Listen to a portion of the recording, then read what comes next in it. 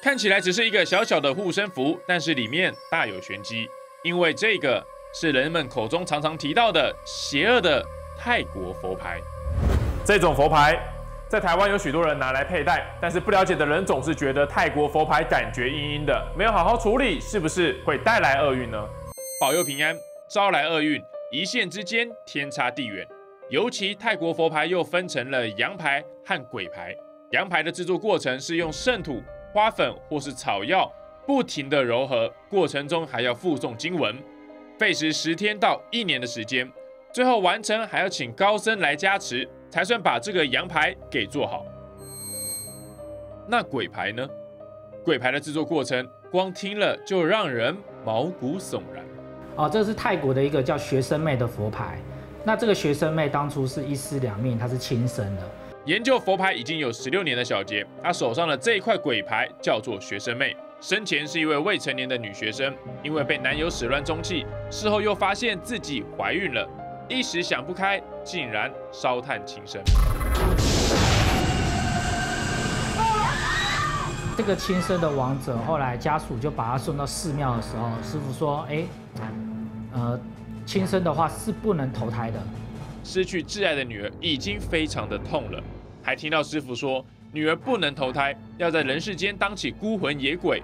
也因为这样，寺庙的师傅就说，要不然就把你女儿做成鬼牌来化解这个问题。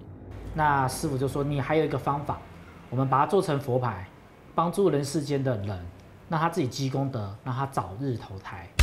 许多的鬼牌都有属于他们自己的故事。要让他们的魂住进这个牌子里，让人佩戴，就必须取自于死者的生前相关物品。后面的话，这个下面是特殊的特殊油，那里面还有掺杂粉土，还有这个当初学生妹的头发一些相关的东西。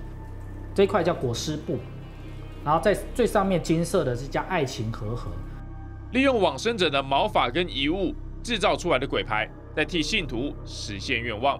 这样的做法其实跟台湾的养小鬼有一点相似，也因为这样，很多人就开始怀疑：难道鬼牌不会反噬信徒吗？佛牌一定都是师傅做的，师傅不会做不好的佛牌给信徒。既然不会做不好的佛牌给信徒，所以是所以即使是鬼牌、神牌，不管是什么牌，都一定是没有任何问题的。有问题都是存在在人，而不是在牌。小杰就有说到。鬼牌帮助信徒实现愿望，同时也在替自己积阴德。只有一种状况才有可能被鬼牌反噬，那就是你答应鬼牌要做的事情，你没有做到，才有可能被鬼牌小小的警告。这样神奇的力量，就连国际巨星冯迪索在拍《亡命关头七》时，也请了一尊佛牌挂在脖子上。My good luck charm when it comes to making the movies, as it was in Furious Seven, and as he now is in the new. 冯迪索在拍《玩命关头七》时，同为演员兼好友的保罗沃克不幸的在剧外车祸身亡。整个噩耗让冯迪索悲痛不已，也影响了电影拍摄的进度。剧组人员迅速的找到解决的办法，让电影顺利开拍。甚至传闻冯迪索在拍摄的过程中遇到的问题，通通都迎刃而解。难道这个佛牌冥冥中真的有在保佑吗？这让泰国宗教又蒙上一层让人猜不透、看不明的神秘面纱。但是说到这个，最著名的就是四面佛。拜四面佛要还愿，这是所有信徒都知道的事情，已经不是新闻。如果你没有还愿，那很有可能会被四面佛做出警告。就连来跳还愿舞的舞者，如果爽约，很有可能也会遭到处分。不要说你不信，活生生的案例就在眼前。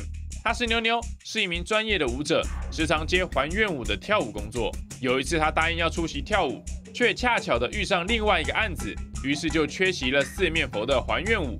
没多久，奇怪的事情渐渐发生。就之前有答应信徒，说有时间要帮他跳还愿舞，但是那一阵子就在中南部接跳舞的工作，比较忙，都没有时间回台北。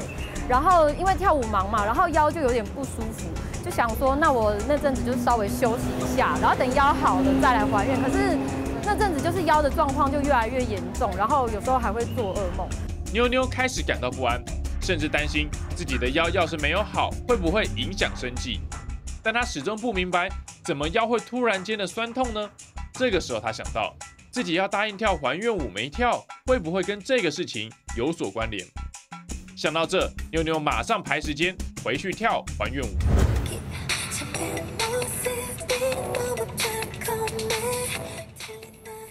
很神奇，就是跳完没多久就康复了，就是都没有看医生，就自己就好了。从此之后，只要妞妞接到了四面佛的跳环愿舞工作，一定准时出席。想在四面佛面前献舞，就跟台湾的民俗法事一样，表演前舞者要沐浴净身，遵守戒律，要带着沉静的心情这样子。那有一些舞者，他可能比较要求，他甚至会先净身啊，或是吃素，或者是。呃，他可能自己觉得大姨妈有忌讳，他就会那阵子就是暂暂停接表演这样。毕竟是跳给神明看的，多一份谨慎就是多一份尊重。只不过让人好奇，崇高的四面佛怎么会喜欢看火辣的艳舞呢？原来这跟泰国的一个传说有关。传闻泰国有一名乡下的女子来到了曼谷打拼工作，但没想到最后竟然是身无分文。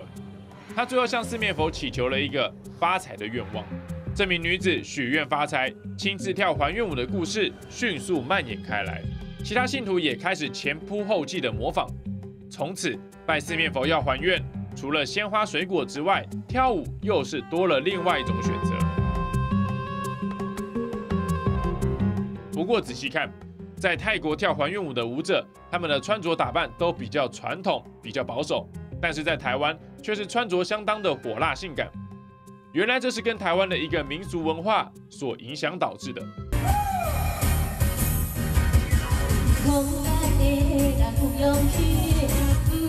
台湾从南到北庙会活动不免请来电子花车，而电子花车上面的舞者穿着多半都是性感火辣。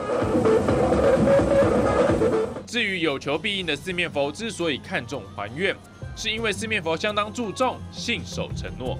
如果你饮水思源来讲话，不会注重你在你在这人世间哈做事情哈就不会成功嘛。你求四面佛就是四面嘛，做什么事情就是讲求信用嘛。希望信徒懂得饮水思源，遵守诺言，才让小心眼和爱看跳艳舞成为了四面佛的错误标签，甚至可以说四面佛背了一个大黑锅。但不管是佛牌还是四面佛，宗教最主要的力量是安定人心，所以信徒千万不要过分迷信，免得迷失自己。